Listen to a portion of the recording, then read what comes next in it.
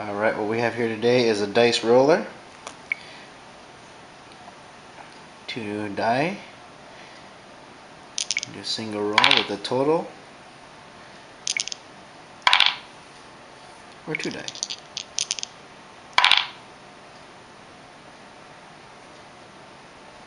Credits.